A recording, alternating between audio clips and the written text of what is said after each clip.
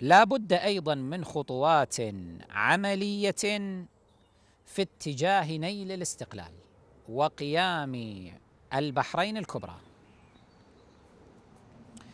هذا الأمر تحدثنا عنه مرارا أيها الإخوة فيما سبق. مشكلتنا الرئيسية هي في عدم اجتماع الكلمة على هذا الأمر. يعني هنالك من ينازعكم أو يتنازعكم ويحاول أن يجذبكم إلى مشاريع أخرى فاشلة. يرسم لكم حلا ولكن هذه الحلول كلها قد جربتموها فما وجدتموها حلولا أيها الإخوة. هنالك من يرسم لكم طريقة تفاوض مع النظام وكله فشل. هنالك من رسم لكم الارتماء في أحضان النظام الإيراني الخامنئي وفشل في ذلك. هنالك من يطرح المشروع كذا المشروع كذلك. وأنتم تلاحظون كلهم قد فشلوا في مشاريعهم كلهم تقريبا. لم يوفر ذلك لكم الأمن ولا الكرامة ولا العزة ولا شيء مما كنتم تحلمون به ولا حتى المساواة. فإلى متى؟ إلى متى هذا الانبطاح؟ إلى متى هذا ال ال ال الغرق في مشاريع تستنزفنا وتستنزفنا ولا تؤدي إلى طائل؟ بل هم أمام أقل صفقة يخونوننا كما فعل سامير القطيف ورفاقه. بعدما كانوا ينادون بالثورة وبالكذا وبالكذا انتهى الموضوع. وعادوا الآن ينظرون للوئام مع الدولة والتسليم للدولة. الحل الذي نحن نرسمه أيها الإخوة ليس حلا هم تهوريا كما قد يظن. ليس من قبيل تلك الحلول التي طرحها هؤلاء. إما يعني إفراط وإما تفريط. إما ثورة بالمطلق وإما آه، تطبيع بالمطلق. لا. نحن نطرح حلا هو الآن مقبول ولكن يحتاج فقط إلى هذا الشيء. اجتماع الكلمة حتى يكون لنا نحن مثلا أو غيرنا في الغرب ممن يمكن أن يتفاوض مع هذه القوى الكبرى أن يكون له التفويض الشعبي الذي يمكنه من طرح هذا الأمر على طاولة المفاوضات. يقول أنا الشعب قد فوضني. وهذا الشعب يطالب باستفتاء أممي لتقرير حق المصير. هذا الأمر يمكن تحقيقه أيها الإخوة. صدقوني بأسرع مما تتصورون ولكن المطلوب اجتماع الكلمة على ذلك. مهما اختلفنا كتيارات مهما اختلفنا كجماعات لكن دعونا نتفق على هذه الاستراتيجية الآن لنجربها وسترون النتائج. جربتم كثيرا من الأمور سابقا وصرفتم دماءكم من أجلها. ما أدت إلى نتيجة. جربوا هذه الآن. وانظروا الدفع نحتاج اولا إلى زخم لكي يمكن ترجمته في المحافل الدولية بأنه زخم معقول. هنالك زخم شعبي في المنطقة الشرقية ينادي بالاستفتاء. الأمر لن يطول إلا ويجرى هذا الاستفتاء بنحو ما أو يعطي المبرر على الأقل لهذا الاستقلال. قيام دولة البحرين الكبرى. إقليم البحرين الكبرى. نعم شيعة الخليج من حقهم أن يكون لهم دولة أن يكون لهم حكم ذاتي. ملوا شيعة الخليج؟ ماذا يصنعون يا أخي؟ ملوا ظلم جور عدم مساواة عدم عدالة. إلى متى؟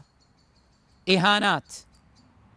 قتل الآن. بدأنا الآن دوامات العنف. الله العالم إلى أين ستفضي بنا؟ إلى متى طيب؟ اتركهم يحكمون أنفسهم بأنفسهم خلاص. كل واحد يقضب قاعه وانتهى الموضوع.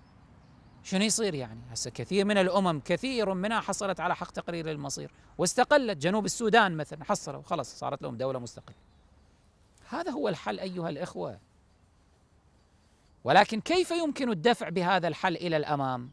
وأنتم لم تجتمع كلمتكم على ذلك. ولم تعطونا تفويضا في ذلك. ننطق ونتكلم بأي بأي صفة. لا يمكن. أعطوا هذا التفويض. اجعلوا لنا حرية في مخاطبة هذه القوى الكبرى. هذه القوى الكبرى أنتم كما تعلمون إنهم يعبدون الدولار. ما هي مشكلتهم معنا؟ يعني الآن هاي الأنظمة القوى العالمية. ما هي مشكلتهم؟ لماذا لا يصطفون إلى جانب هؤلاء المظلومين الشيعة؟ لماذا لا يدافعون عنهم؟ لماذا هم إلى الآن يدهم مع يد آل سعود؟ ما هو السبب؟ إن آل سعود هم الذين يتحكمون بهذه المنطقة وبيدهم النفط وهذا النفط مطلوب لهذه القوى الكبرى لأنه تقوم عليه يقوم عليه الاقتصاد العالمي. لا يمكنهم التفريط به. هذا فيه أرزاق الناس فيه شركات صناعية كبرى. ما يمكن التضحية أو التفريط بهذا النفط بمصدر الطاقة. العالم كله قائم على ذلك. أنتم مشكلتكم شيعة المنطقة الشرقية أنه لديكم هذه الثروة لكنكم لا تعطون ما يطمئن هذه القوى الكبرى أنه يمكن تأمين مصالحها فيما لو تركتم ورفعتم يدكم عن آل سعود عن دعم آل سعود وصرتم معنا. هم تخوفهم أنه إذا الشيعة حصلوا على منطق على دولتهم هذه على البحرين الكبرى وحكموا هذه المنطقة أن يقطعوا عنا النفط أو أن يرتموا في أحضان إيران أو أنه يكون هنالك توتر فيما بيننا وبينهم فلا يؤمنون مصالحنا كما يؤمنه آل سعود فلنترك آل سعود على حاله. هذه القضية فقط. ماذا نفعل يعني؟ العالم هذا عالم سوق سوق عرض وطلب. شو تسوي؟